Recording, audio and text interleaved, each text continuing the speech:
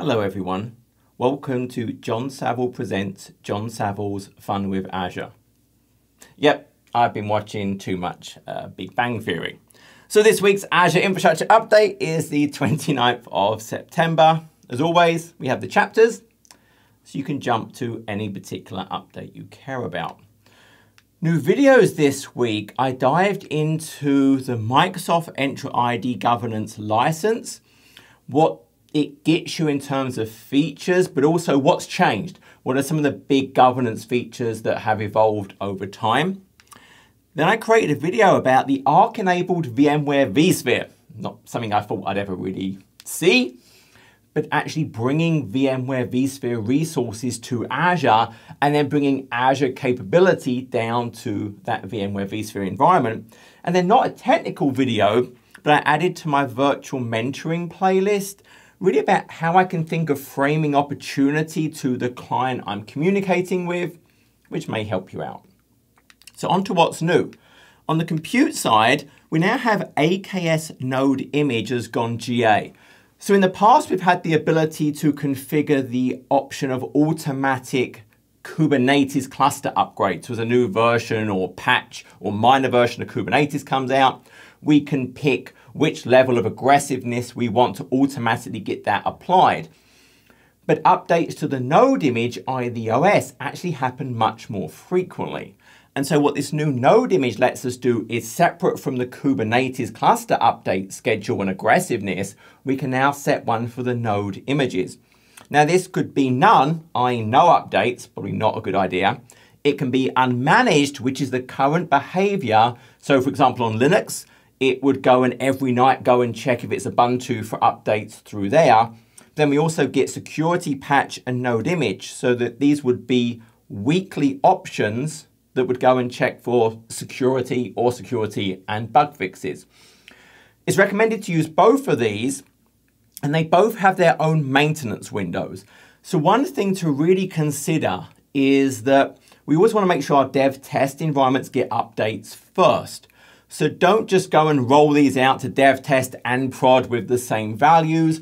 And I want to make sure dev test sees the same thing that prod will see. And so one of the nice things I could maybe use is if I'm not using AKS Fleet Manager, for example, that lets me actually have a more controlled rollout, we'll stagger the maintenance windows. So make sure, hey, my dev test gets it first, and then later on, I would see that in prod. AKS now has Kubernetes 1.28 supported in preview. AKS now has dedicated table support. So if we think about all of the logs from AKS go to a log analytics workspace. And ordinarily those logs would go to different tables, which means I need to use standard logs so I can have cross-table interactions.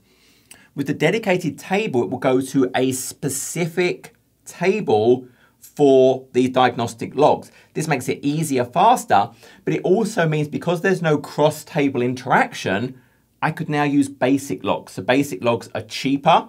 Now they have, I think it's eight days before I then need to go and archive them off, but this basic plan may be a better option depending on what my requirements are. So I now have that option to take advantage of those dedicated schemas. AKS also now has the image cleaner in GA. Over time, our nodes pull down images which get used to containers, but then newer ones come out. But we get those older images just staying on the nodes, which over time may have vulnerabilities. It's just bloat on our nodes. So what this image cleaner does is really two things. There's a scanner that runs. This is based on the Trivy security scanner that will go and look at your images and give them a classification of vulnerabilities. I think it's from low through to critical. And then there's a eraser. So this is built on the eraser solution that on a schedule you define, it can be as low as um, every day up to every three months. I think the default is weekly. We'll go and then clean up those unused, those images with vulnerabilities. This will help um, protect you from just having those images laying around with vulnerabilities and just the general bloat on our nodes. AKS vertical pod auto scaling has gone GA. Now remember, this is pod, not node. This is not about making hosts bigger in terms of CPUs and memory. This is about the resources that get allocated to a pod. this open source project lets you right size your workloads. So based on the resource use it has seen, it will go and configure the right limits and um, requests for those containers. So it's going to help me, hey, make sure I'm being as cost optimized and efficient as I possibly can. So based on what it's seen, it will adjust those processor and memory resources. Then Azure Functions has a number of updates, some GA, some preview. So in GA, it's Python 3.11 support. And also for Node.js, it now has the V4 programming model.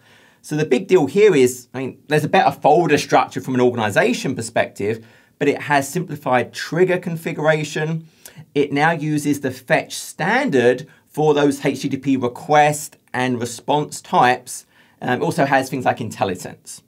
And then in preview, it now has a Dapr extension. So remember, Dapr is all about providing these standard ways to interact with uh, actors, with secrets, with service discovery, um, bindings, much, much more. Well, now functions can very simply integrate with those Dapr APIs and utilize those services. And it also now has Node.js support for Windows and Linux. And then Azure Container Apps are now available in China. So remember, Azure Container Apps, the big deal here is, yes, it's built on AKS, but it abstracts AKS away. But hey, it adds things like Dapr. It adds things like KEDA for, for better scaling. It adds um, network capabilities for maybe uh, blue-green deployments and, and Canary and all things like that. So it lets me focus just on my microservice and less about managing Kubernetes and extensions and other things. So those Azure Container Apps I can now use in China. And ACR Artifact Cache has now gone GA. And really the idea here is you probably interact, in fact, maybe I'll use this board while I'm here.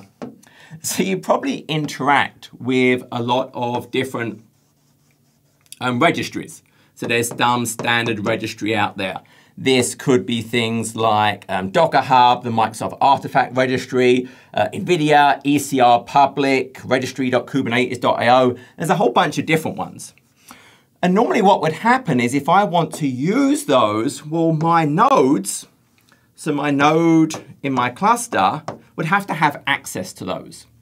So what this new capability lets me do is my Azure Container Registry will now cache the content from those.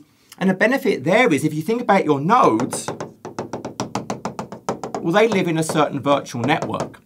I could now, for example, project a private endpoint for that ACR into the VNet so it doesn't require any public access to those registries and instead can now just have that private connectivity. So it's actually a pretty big deal and it'll be interesting to see what other solutions um, build on that capability.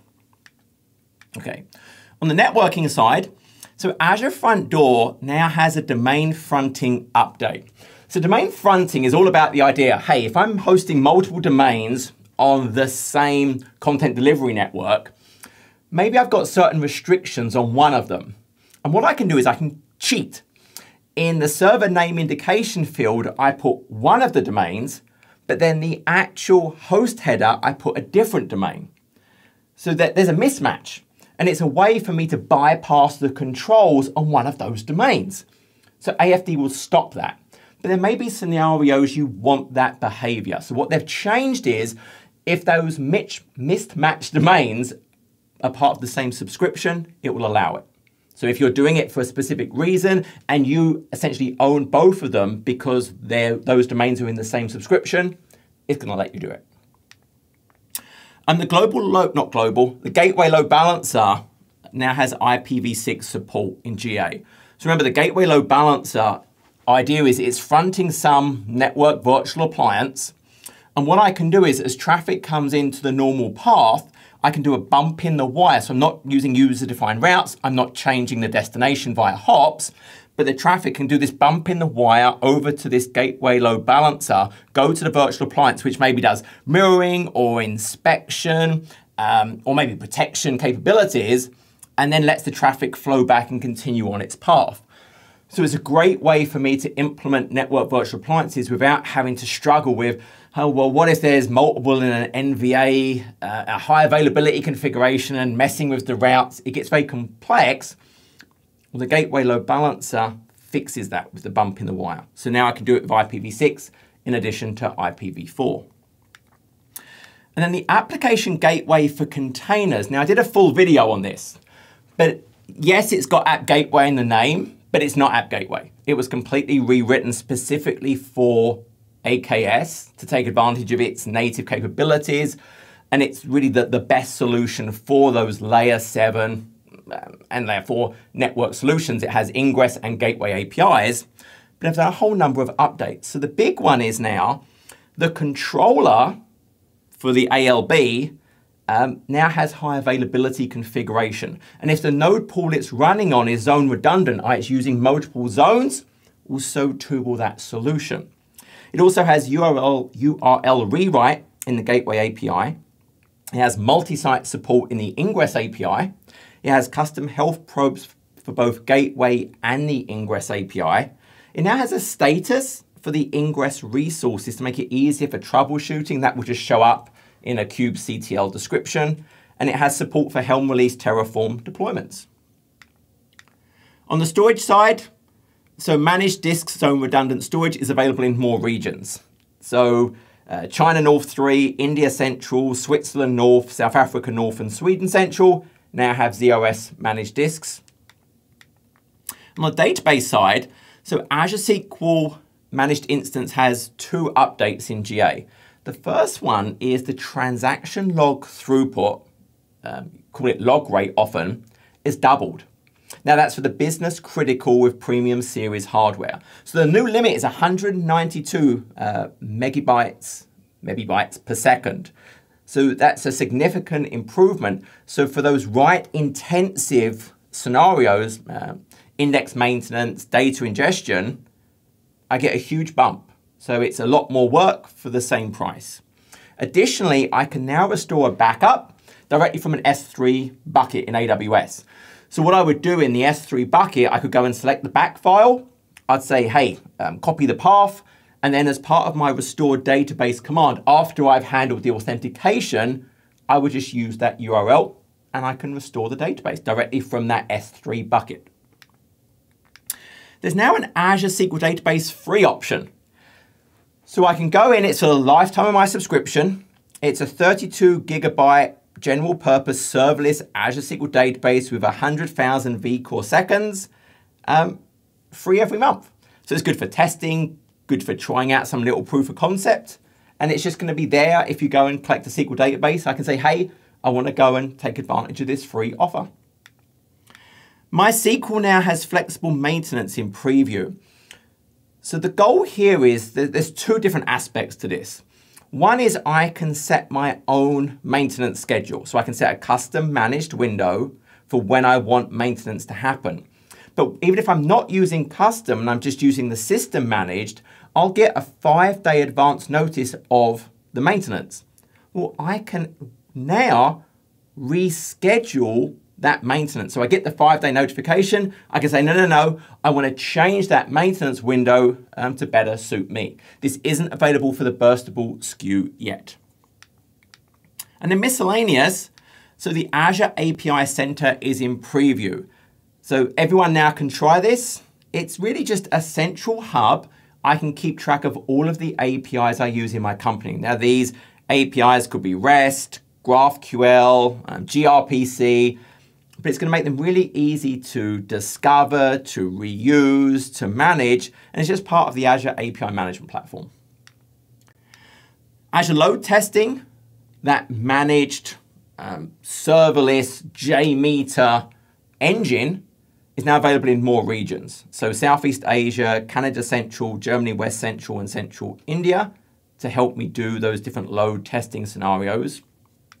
And finally, the Windows 365 boot and Windows 365 switch have gotten GA. So this is obviously, we just got the new Windows 11 moment was released, which helps enable these things. So the boot capability lets me take a Windows 11 machine and I can configure that physical device to directly boot into my Windows 365 um, virtual desktop environment. So I don't have to authenticate to my local machine. I will auth directly into that Windows 365 cloud PC. And the switch capability makes that remote cloud PC just integrate with my regular um, task view. So if I was doing the Windows 11 task view, now that cloud PC will show up. And that was it. And as always, I hope you enjoyed our fun with Azure. Until next video, take care.